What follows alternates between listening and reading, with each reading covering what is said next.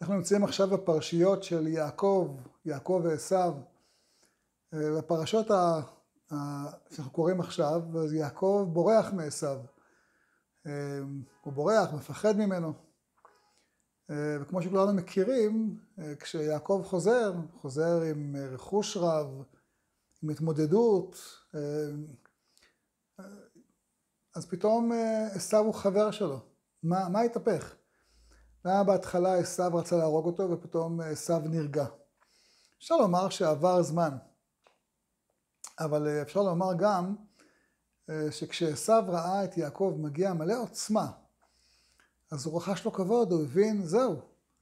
זה לא אותו יעקב שחשבתי טעם, אולי אפילו יותר מזה. אותו דבר קורה גם לאברהם אבינו. כשאברהם אבינו מנצח את ארבעת המלאכים, כתוב שהוא מגיע לעמק שווה, הוא עמק המלך, אומר רש"י, כולם אה, הושבו בדעתם להמליך אותו עליהם. מה קרה שממליכים אותו? התורה שלו נהייתה אחרת? לא.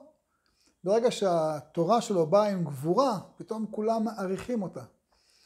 אז כן, אתם זוכים, אתם, החיילים, זוכים אה, לתת לתורה נופך של גבורה.